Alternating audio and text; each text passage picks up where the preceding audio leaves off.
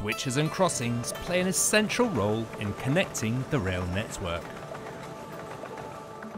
We use them to guide trains from one track to another and to enable lines to cross paths. Put simply, they're the junctions that allow us to create a multi-lined, multi-routed rail network. At Network Rail, we own over 20,000 switch and crossing units. They come in many different shapes and sizes, and all are made to measure for their specific location.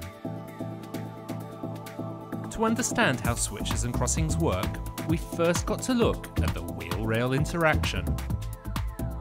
Train wheels move along the rails guided only by the pound coin sized area of wheel that sits on the railhead.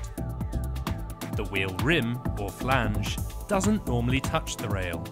Flanges are only a last resort to prevent the wheels becoming derailed. A switch can guide a wheel in one of two directions. A crossing creates a gap in the rail for the flange to pass through. This is a switch.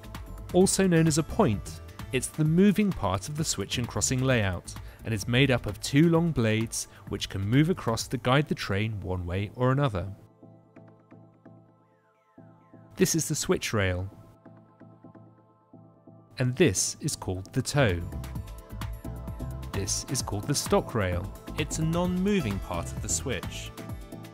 The two switch blades are fixed to each other by a stretcher bar to ensure that when one is against its stock rail, the other is fully clear and will provide room for the wheel flange to pass through cleanly.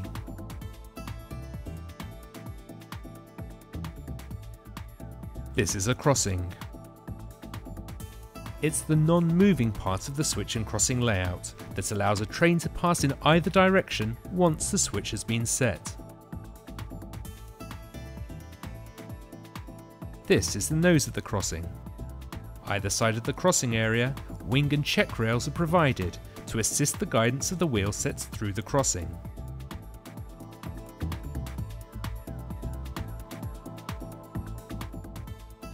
Crossings can be either fabricated, made up of two machined rails joined together, or they can be cast as a single unit.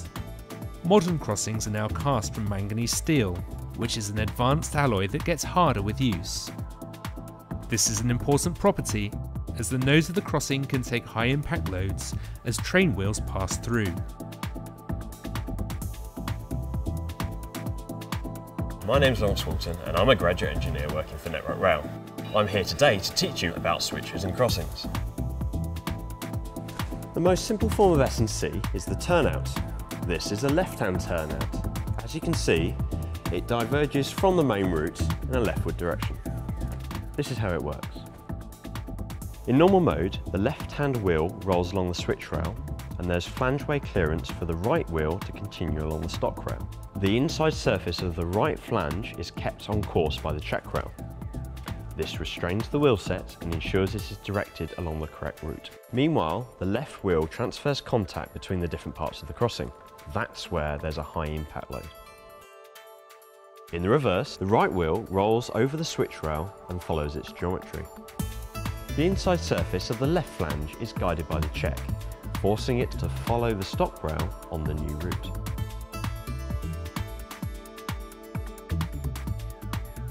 And the right hand wheel makes a crossing, again impacting a load on the crossing nose. There are many different types of switch and crossing on the network. They include turnouts, diamonds, crossovers, and slip diamonds. The type we use is determined by a number of factors, including the number of lines involved, frequency of use, and running line speed. Trains travelling at high speeds need long switches and crossings, at low speeds, such as in stations, trains can make tighter turns. Train movements across the network are set and controlled by signallers, who use switches to set routes for trains. Switches can be propelled by various devices. One of the simplest forms is the ground frame setup, a series of rods and cams attached to levers in signal boxes. These are now largely being replaced by remotely operated hydraulic and electromechanical devices. Seen by rail sides all across the country. This is an HW2000 points machine. This is electromechanical. What we have here is your drive motor. To check the motor has done its job, over here we have an interlocking and detection system.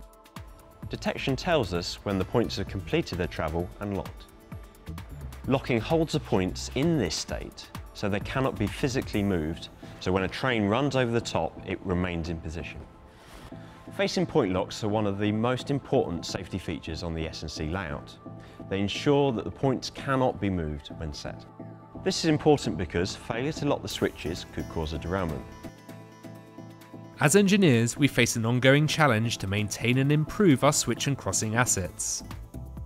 Trains can create large impact and lateral forces as they change course, and these forces can cause wear and deformation.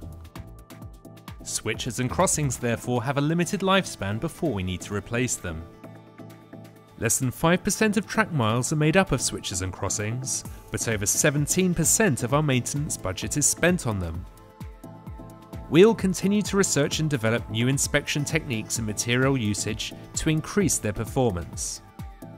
It's all about creating a network that's safe, reliable and efficient. It's what we do.